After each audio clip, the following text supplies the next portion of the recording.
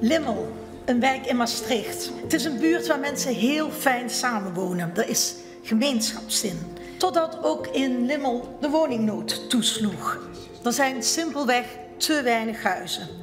Kinderen die er zijn opgegroeid moeten tot hun eigen verdriet en het verdriet van hun vader en moeder uitwijken naar een andere wijk in Maastricht of soms zelfs ergens op de dorpen gaan wonen.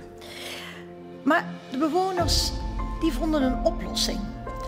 Er lag namelijk een groot stuk braakliggend grond tegen Limmel aan, waar maar liefst 800 nieuwe huizen gebouwd zouden kunnen worden. Totdat een miljonair dat stuk braakliggend grond opkocht. Hij zag meer brood in het bouwen van een distributiecentrum dan in nieuwe huizen voor de mensen in Limmel. De situatie in Limmel staat niet op zichzelf.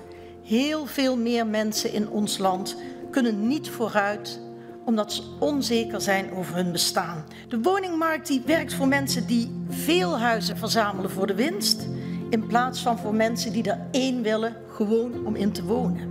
Zoveel dat in Rotterdam bijna 40% van de huizen opgekocht wordt door beleggers, terwijl heel veel mensen snakken naar een betaalbaar huis.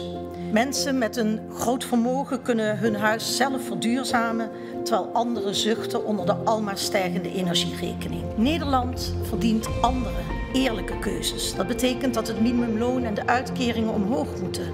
Dat we eindelijk weer eens investeren in betaalbare woningen en dat niemand op straat hoeft te slapen. Dat we een einde maken aan de jungle van contracten dat de winsten hoog houdt en de lonen laag. De mensen in Limmel, in Wijk aan Zee, in Loppersum, zij zijn het tij aan het keren. Het is de hoogste tijd dat we het anders gaan doen. Het is nodig en het kan. Want samen kunnen we Nederland eerlijker, duurzamer en socialer maken. Een fijner land waar we samen kunnen leven.